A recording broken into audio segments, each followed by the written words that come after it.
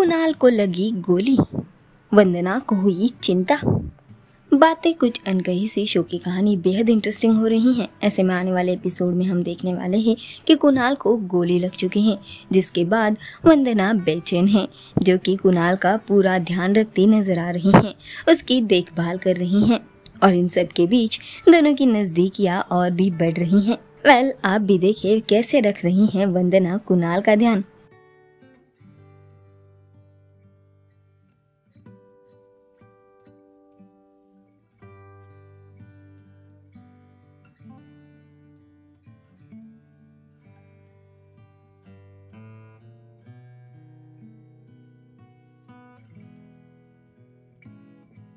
Well इस चल रहे ट्रैक को लेकर आपको क्या है कहना कमेंट कर ज़रूर बताएँ। शो से जुड़े तमाम लेटेस्ट अपडेट्स जानने के लिए बजुका के साथ बने रहें।